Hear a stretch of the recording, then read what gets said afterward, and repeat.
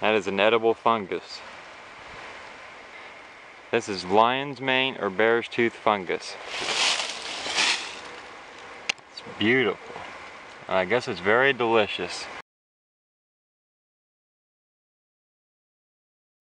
Now if you compare this to my hand, it's very big. It's about the same size as my hand, and to give you an idea how big my hand is, I can palm a basketball. So, I mean, that's that's pretty decent size. Now, another amazing thing that I just happened to notice right after taking a closer look at this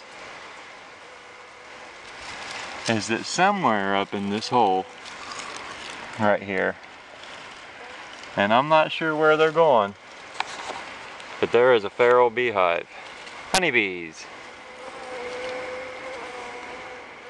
There we go, we got one coming out, I think.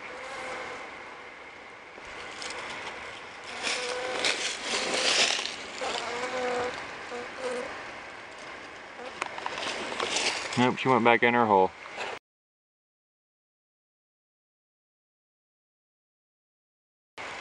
It's about 60 degrees today, and as I was getting close to the lion's mane or bear tooth fungus, uh, I noticed some traffic.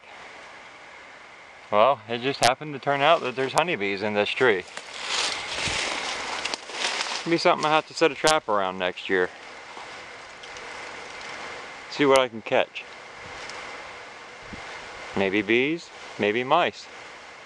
I've caught both. there you go. Just thought I'd share that pretty neat that there's honeybees right under it too. And you know, I bet they're using that fungus as a guide when they're coming in out of the field back here. They probably look for that mushroom or fungus there and head straight for home.